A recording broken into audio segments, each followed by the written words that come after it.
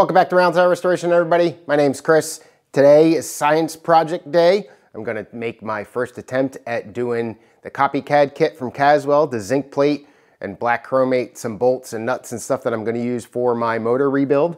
I did a quick little intro video on that. If you want to um, watch that, it's up here. And I've got an instruction book that comes with it. This thing is pretty massive. It's about 30, uh, 30 bucks if you want to buy it separately. And then if you go ahead and buy the kit, they'll apply that $30 to the kit. But there's a whole bunch of proprietary information in here. Even if you don't go with their kit, it may be beneficial to you to, uh, to use it as like a cheat sheet.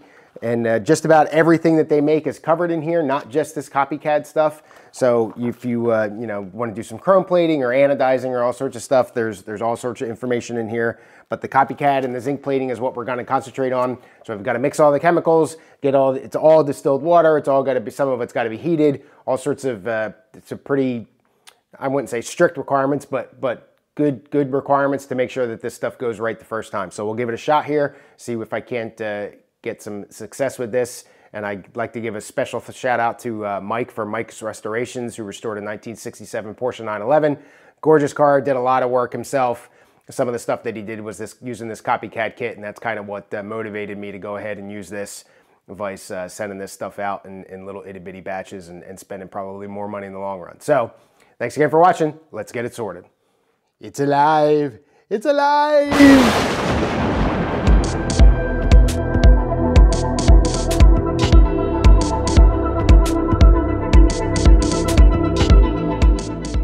First thing we're gonna prep here is the degreaser. Like I showed you, I got the um, a little crock pot in the background there that I picked up from Goodwill for just a couple bucks.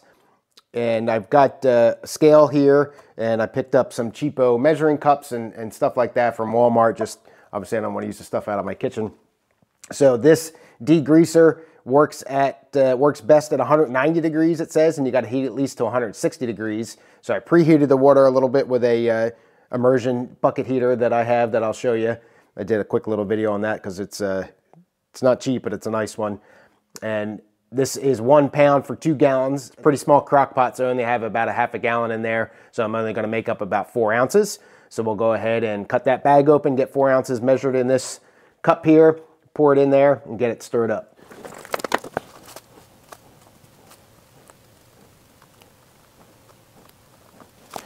3.99 ounces, that's probably close enough. All right, let me get something to stir with and then get this degreaser powder bagged up so I don't lose any make a mess. So while we wait for the degreaser to get up the temperature, the next up is going to be to mix the actual zinc solution itself. So I have a three gallon kit like I mentioned in my intro video. So everything, the instructions in the, in the uh, manual are gonna be doubled. So we're gonna put three gallons of water in this bucket. We're gonna add the two concentrates. You have a liquid part here, and you have a powder part, and I got two of each of these because it's a three gallon kit. And then we've got a little bit of brightener here, and the brightener, you get eight ounces here, and it only takes um, a teaspoon. So this stuff is gonna last for absolutely ever, which is good.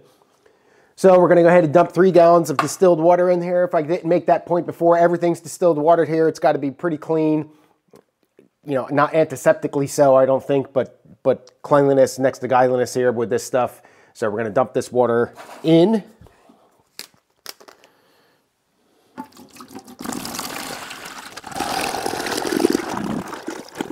These are three gallon buckets, by the way. Or excuse me, three and a half gallon buckets. All right, so there's the water. Now we want 13 ounces of Part A concentrate. So each one of these, like I said, is good for a, uh, a gallon and a half. So we'll put both of these in. And this looks like uh, a nasty little milk jug. And it does, uh, it was settling out a little bit. So just make sure that you stir this up. And then on the top here, says the same thing, makes 13 ounces of Part A with 36 weight ounces of CopyCAD Zinc Part B and a gallon and a half of distilled water, refer to manual. So that's the part B here is the powder. This is the part A. So we'll go ahead and get this electrical tape off here. Get this stuff poured in.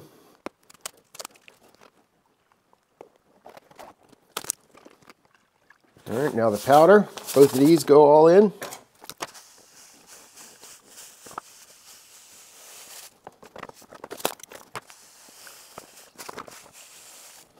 All right, and that bucket's uh, pretty full. All right, that stuff's probably going to take a little while to come to uh, dissolve, but next up is going to be the brightener.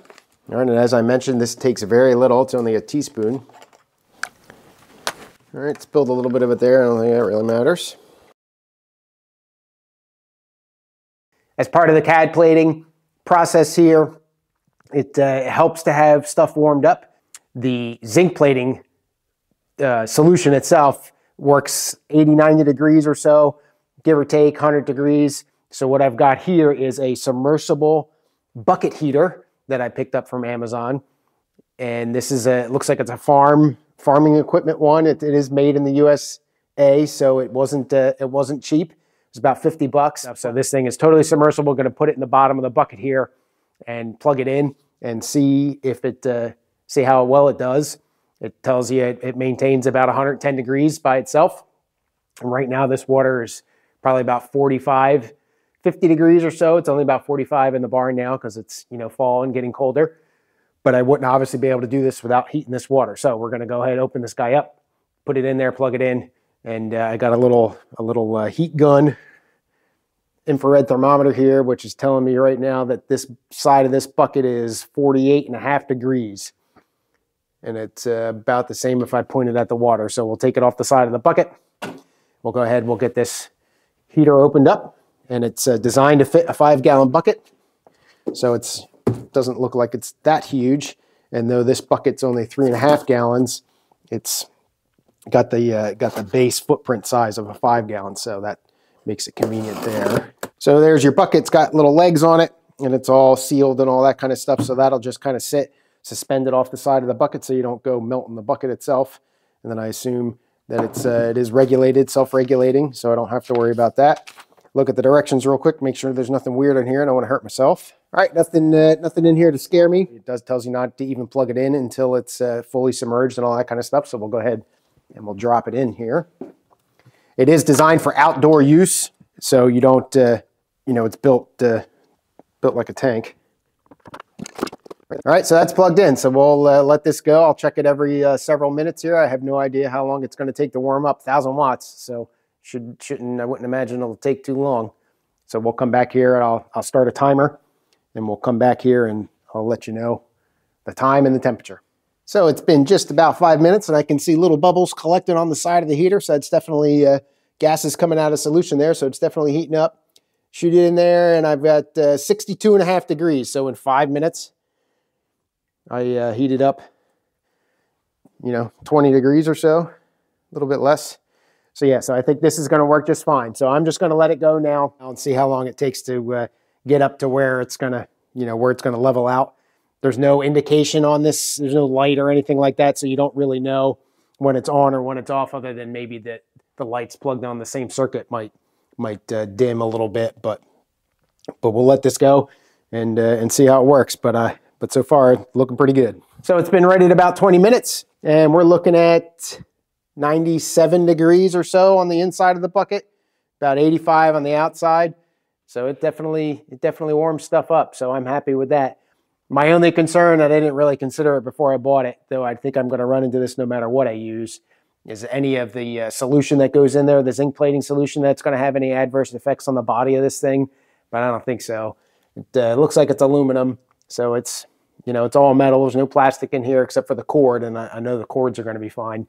So yeah, so I'm happy with that. Seems to work pretty well. Heats it up relatively quickly, so I don't have to wait all day for that to happen, like I would if uh, maybe with some other solutions.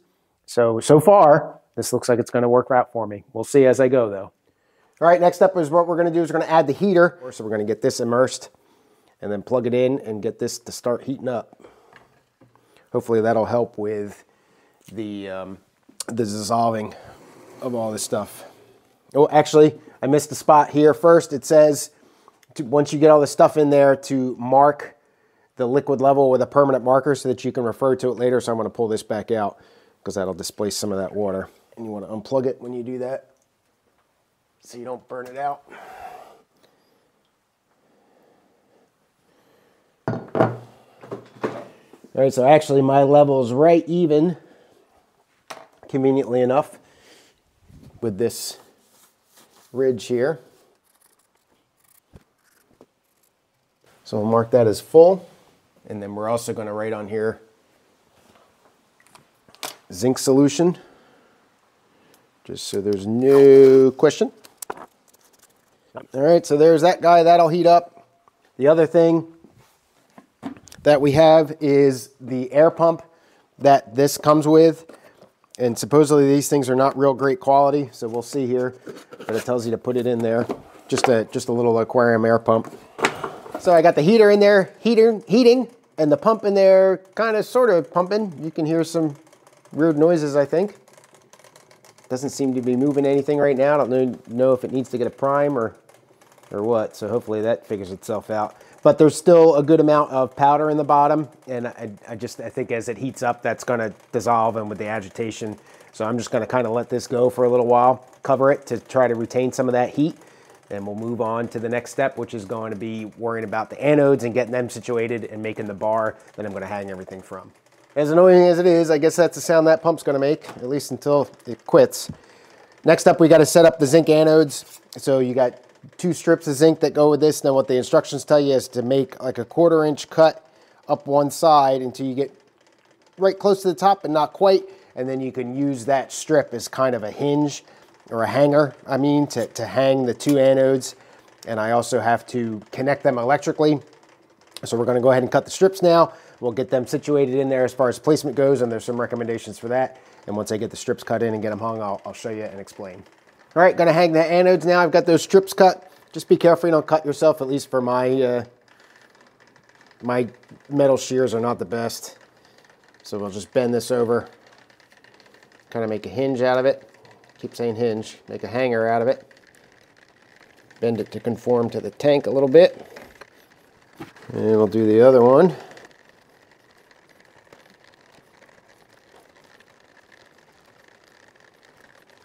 And I'm going to hang them so I've got the majority of the plate fully submerged. All right, so those are in there. You can see the steam coming off. So next up now is to connect these up electrically, both to each other and to my power supply. So I'm gonna have to do that here and then we should be pretty close to giving, uh, getting the, the ball rolling here and giving it the first shot. Oh, the, uh, the copper bar that's gonna hang over top of here, all I did was essentially flatten one side and just clean it up real good. And, and this will be what the parts hang off of. And it'll just kind of sit like there and the parts will hang down into the, into the, um, into the solution there. There is the first batch of bolts that I'm gonna be zinc plating. Got uh, a stud in there. I'm not quite sure. I don't remember what the stud's from, but it was in that bag, and I'm pretty sure I kept them all together. So we'll go ahead and get these cleaned up on the bench grinder and just get the rust off of them. I'm not going to show you that. That's going to be pretty boring. And then we'll uh, get them in the degreaser. And while they are degreasing, we're going to go ahead and calculate how much current and all that kind of stuff that I need to, uh, to make this stuff work. The solution over here is still solutionating. The uh, zinc anodes are in there and, and uh, pickling a little bit. I don't have current hooked up to anything yet, but uh, the pump seems to be holding on so far, and the uh, the heater is working just fine. It's about 110 degrees or so, which is just about perfect. The degreaser's up to about 150, which is also just about perfect. So we're moving along. Got the bolts all cleaned up. They're not haven't degreased them yet. Caswell's website, there's a calculator for calculating surface area, and uh, specifically there's a there's a bolt calculator in there. So each one of these bolts and, and the surface area is what is going to determine how much current I need to use. The surface area, each bolt's about 1.7 square inches, and each lock washer is only about 2 tenths of a square inch. So we're going to go ahead and dump that in and figure out how much current I need. Uh, but in the meantime, we'll get all this stuff into the degreaser. It only takes about five minutes. We'll let that degrease, and then we're going to use some muriatic acid to pickle it, and then hopefully we'll be ready to go in and go ahead and start the process of actually zinc plating. Got all the lock washers here wired up on copper wire. Uh, I'm using uh, 10 gauge, or excuse me, 20 gauge. It recommends uh, 10 or 12, so probably in the future I'll go with a little bit heavier. But don't underestimate how long this takes. So not, uh, you know, obviously we're not rushing this, but that, that took uh, more time than I thought it would or that I would appreciate it would. So now I'm going to go ahead and dip these into the degreaser for five minutes. As far as the anodes go, and I had mentioned that you have to short them together. If you can see this red wire here, just goes from this hang uh, lever, hinge, hanger, keep messing that up to the other side. It's just connected up electrically, so now they're shorted. I did take a uh, resistance measurements to make sure.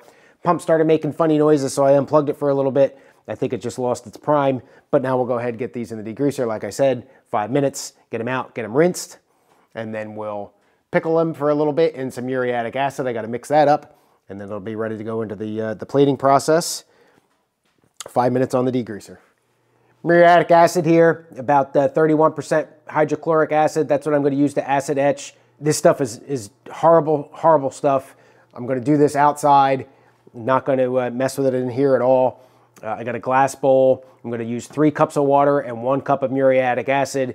And after it comes out of the degreaser, the flat washers, get them in, the lock washers, get them in there and just etch them for no more than a couple minutes. And then pull them back out in between all these steps, spraying down with the um, distilled water. And then once I'm done with that, I've, like I you, I've got them all wired up. I'll be ready to go. I've figured out my amperage and I'm only looking at about a half an amp for all 18 washers. So it's two tenths of a square inch per lock washer. You multiply that by 0.14 and then you multiply that by the quantity and I get it about a half an amp. So I'll set my power supply up here for about a half an amp, get that wired in. I'm gonna let start that going, I think, just to kind of get, um, let it start. And then while I'm doing this, I'm gonna do all this off camera, like I said, because it's outside and I'm not gonna mess around. And then we'll come in and show you getting this stuff into the zinc plating. So hopefully we're getting there. Got the washers cleaned and etched here. So now we're gonna go ahead and hang them in the plating solution. This is about a 20 minute evolution here.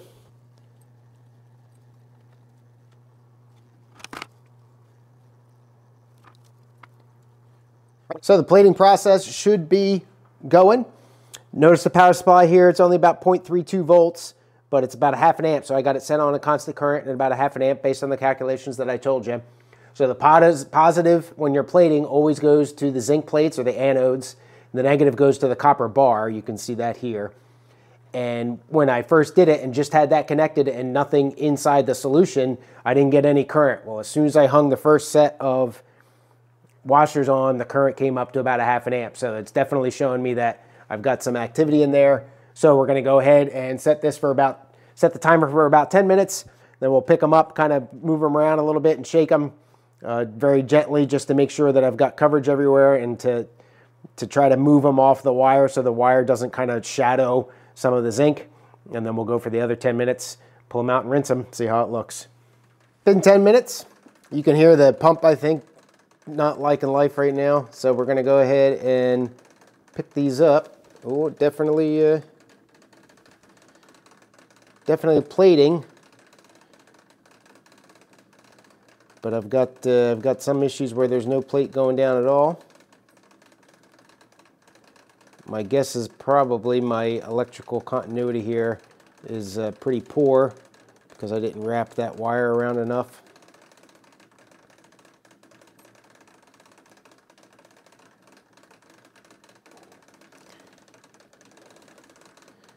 So yeah, this is definitely Definitely going to need to do this one again, but we'll go for the other 10 minutes and uh, see what I see where it ends up. All right, it's been 10 minutes. Turn the pump off. Go ahead and unplug the heater because that's all I'm going to do for today. I'll pull these out, take a look.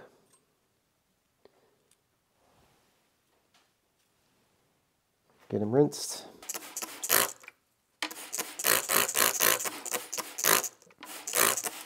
Let me get them all rinsed and I'll come back and show you the, uh, the results, which aren't great, but it's a learning process.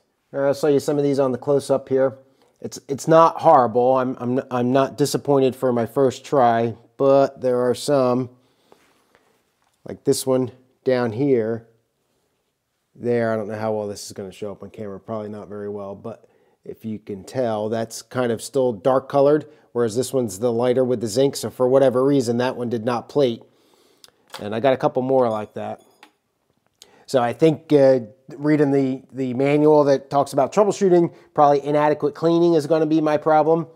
One of the nice things about this is you put it in a little muriatic acid bath and you wipe all that zinc back off and you can try it again. So that's what we'll be looking at. do some more studying. Probably a better way to wrap these things, maybe. I'll get some thicker wire. I'm also not real crazy about my electrical connection between my two plates. So I'm going to try to do uh, alligator clips or something that'll make that a little bit more secure and able to carry. You know, right now it's a half an amp, but as I move up to do the bolts, I'm looking at one or two amps. I'm going to want to be able to carry more current than that. And I want that a good solid electrical connection. So not, not too uh, disappointed all in all for the first try, but uh, obviously some lessons learned here to get them as good as they need to be to go back on the car. But that's uh, all I've got. So Thanks for watching. More to follow, and we'll, we'll keep trying this until I get it uh, nailed down. Thanks again. Have a good rest of your day. Cheers.